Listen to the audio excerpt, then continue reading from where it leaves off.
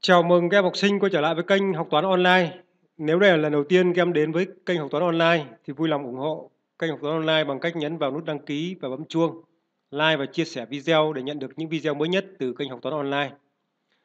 Rồi bây giờ mời các em mở sách và bài tập khoa học lớp 4, bài 4, các chất dinh dưỡng có trong thức ăn, vai trò của chất bột đường.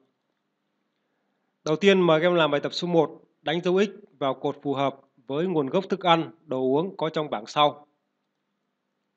Mời các em quan sát bảng sau. Ở đây chúng ta có một bảng tên thức ăn, đồ uống, nguồn gốc thực vật, nguồn gốc động vật. Đầu tiên là rau cải. Thì trong mỗi chúng ta ai cũng biết rau cải có nguồn gốc từ thực vật. Đậu cô ve, nguồn gốc thực vật. Bí đao, nguồn gốc thực vật. Lạc hay còn gọi là đậu phộng.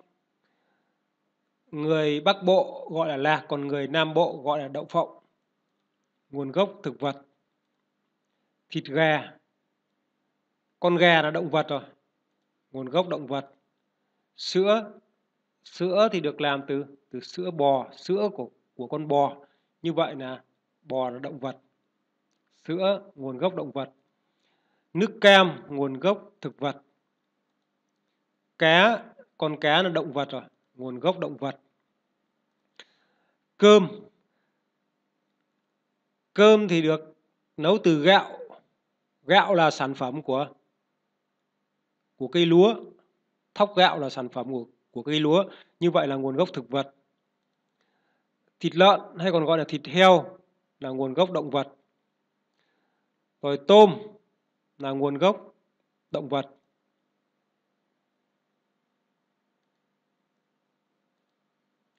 Tiếp theo mời em sang bài tập số 2 khoanh vào chữ cái trước câu trả lời đúng nhất. Trong thức ăn có chứa những nhóm chất dinh dưỡng nào? A là chất bột đường, B là chất đạm, C là chất béo và D là vitamin và chất khoáng. E là tất cả bốn nhóm trên. Thì chúng ta biết là trong thức ăn chứa các nhóm chất dinh dưỡng đó là chất bột đường, chất đạm, chất béo vitamin và chất khoáng. Như vậy ở đây các em chọn là tất cả bốn nhóm trên.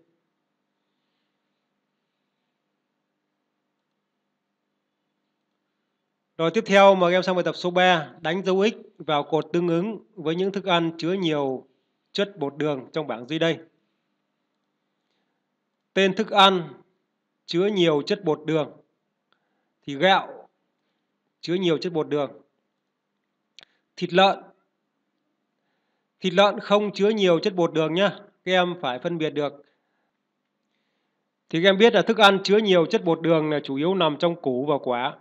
Tức là nguồn gốc từ từ thực vật. Ở đây thịt lợn là động vật.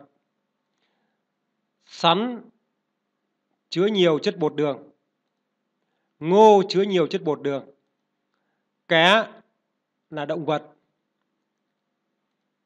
Tôm cũng là động vật. Bánh mì Bánh mì thì được làm từ bột mì, bột mì là sản phẩm của hạt lúa mì. Như vậy là bánh mì chứa nhiều chất bột đường. Chuối chứa nhiều chất bột đường.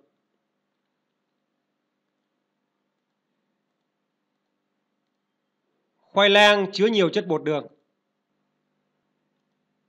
Bí đao không chứa nhiều chất bột đường. Khoai tây chứa nhiều chất bột đường. Lạc, ở đây các em biết là lạc không chứa chất bột đường nhá. Lạc người ta chủ yếu dùng để ép dầu. Như vậy là lạc chứa nhiều chất béo. Ở đây mì sợi thì được làm từ bột mì. Bột mì thì được làm từ hạt của cây lúa mì. Như vậy là mì sợi chứa nhiều chất bột đường. Thịt gà không chứa chất bột đường. Rau cải không chứa chất bột đường. Như vậy chất bột đường chủ yếu có trong trong quả và trong củ.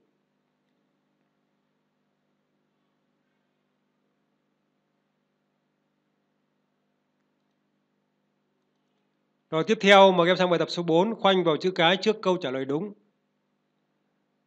Bài tập số 4 ý 1 các thức ăn chứa nhiều chất bột đường đều có nguồn gốc từ A là động vật, B là thực vật, C là động vật và thực vật thì ở đây các em chọn là là thực vật. Các thức ăn chứa nhiều chất bột đường chủ yếu có trong củ và quả. Như vậy là các thức ăn chứa nhiều chất bột đường đều có nguồn gốc từ thực vật. Rồi tiếp theo các em sang bài tập số 4 ý 2, vai trò của chất bột đường. A là xây dựng và đổi mới cơ thể. B là cung cấp năng lượng cần thiết cho mọi hoạt động và duy trì nhiệt độ cơ thể. C là tham gia vào việc xây dựng cơ thể, tạo ra các men, thúc đẩy và điều khiển hoạt động sống. D là giúp cơ thể phòng chống bệnh. Thì chúng ta biết là tinh bột là một trong bốn nhóm chất dinh dưỡng không thể thiếu cho cơ thể. Mỗi khẩu phần ăn của chúng ta hàng ngày có chứa tới 1 phần 3 là tinh bột. Tinh bột hay còn gọi là carbon hydrate là hỗn hợp của amylosa và amylopectin.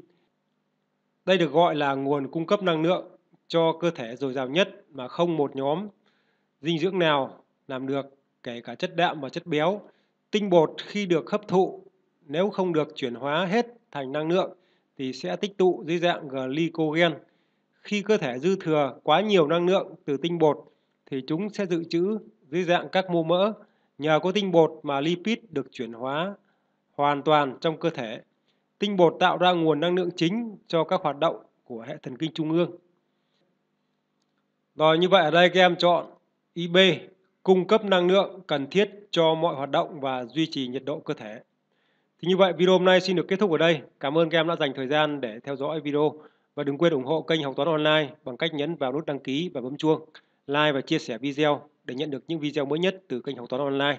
Và xin chào và hẹn gặp lại các em trong các video kế tiếp.